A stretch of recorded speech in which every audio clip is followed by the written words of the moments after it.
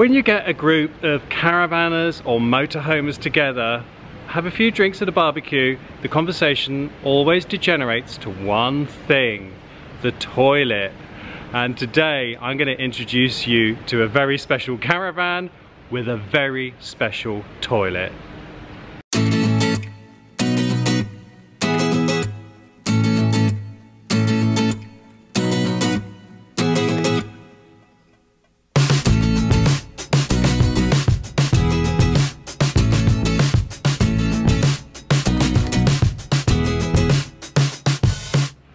So let me introduce you to this. It's a Swedish caravan.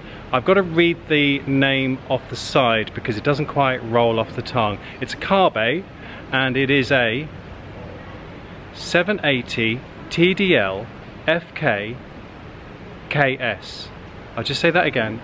It's a 780 TDL FK KS. But before we go into the caravan, I'm going to show you the toilet. Now, one of my commentators did mention these before. It is a incinerating toilet and it's made by the company Cinderella. So obviously it burns the waste and produces ash that you can put on your garden. So there's no chemicals, no nasties and it lasts for ages and ages and ages. Right, just before we take a look at the interior, very quick look at the exterior. It's a very smart caravan. First of all, the front locker is just, if I channel my Kenneth Williams, enormous matron. I mean, it's just, um, yeah, you could have a party in there.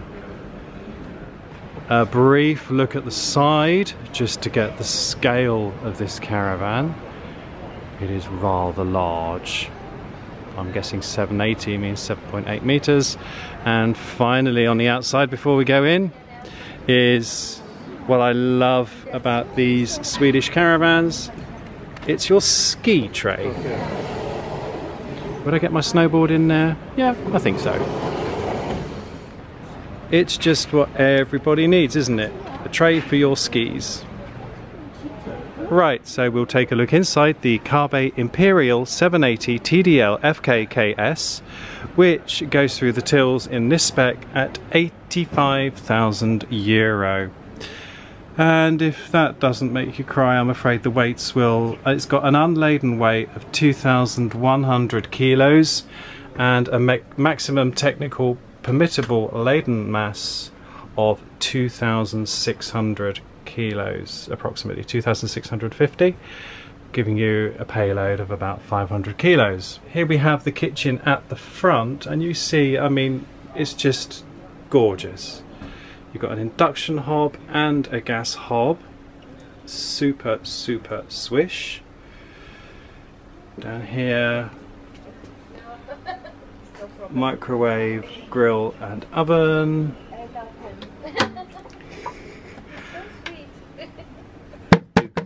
Dougal's making some fans out there. Dougal's making some fans as usual. So this is interesting. We have the Dometic panel here for controlling the caravan. Got lighting and heat. Wow! So a Dometic touchscreen panel for controlling everything. Wow, that is really neat, really neat. That's the entire caravan. I won't touch it anymore, I'll break it. And you can see too, standing in the kitchen, lovely sunroof there, so you can have a nosy around the campsite while you're doing the washing up, which is the most important thing. Something we're starting to see a lot of in premium caravans is the ambidextrous fridge freezer. And then let's take a look through to the rest of the caravan. As I say, these are made in Sweden. Well, they're basically carved from granite in Sweden. They are absolutely gorgeous, solid. Well, they must be with that kind of weight going on so you can see again it's quite an unusual layout but it works really nicely with a super comfortable inviting lounge in the middle an armchair there sideboard here. The all-important cocktail cabinet here. And then as we go through now those of you who remember last year's video about the Kabe I selected may remember there was no storage for clothes in that one well obviously no such problem in this one because we have a wardrobe here and those neat little baskets to put your socks and things in in this cupboard, I won't bother opening it, is just the boiler for the Alde central heating. And then we've got yet more clothes storage here with removable shelves and a clothes rail.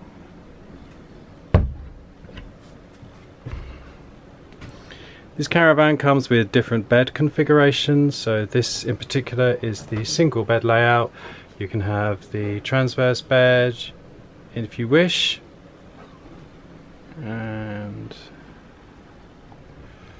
just lovely neat little touches here. To put your phone at night. Okay I give up. I don't know what that is. Reading light. Mind you despite the fact there's some nice shelves going on up here can't see where you put your cup of tea